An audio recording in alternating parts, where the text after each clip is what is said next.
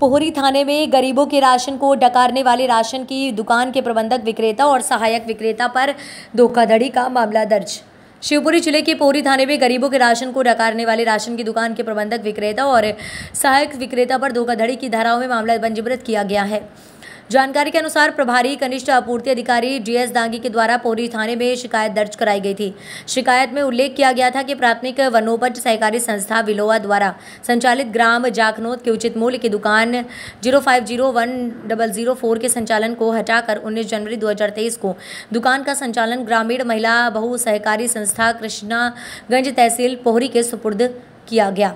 इस संबंध में 13 मार्च 2023 को एक पत्र जारी कर संचालक को कारण बताओ नोटिस जारी कर एसडीएम के द्वारा किया गया था, परंतु उसके बावजूद प्राथमिक वनोपज सहकारी संस्था विलोवा द्वारा ग्रामीण महिला बहुउद्देशीय सरकारी संस्था को सामग्री वापस नहीं लौटाई गई। पोरी थाना पुलिस ने प्राथमिक वनोपज सहकारी संस्था विलोया के प्रबंधक राजकुमार धानुक, विक्रेता पुष्पेंद्र यादव और सहायक विक्रेता शुगर सिंह यादव के विरोध, आईपीसी की धारा 409 420 का मामला दर्ज किया गया है। संवाददाता धर्मेंद्र शर्मा की रिपोर्ट।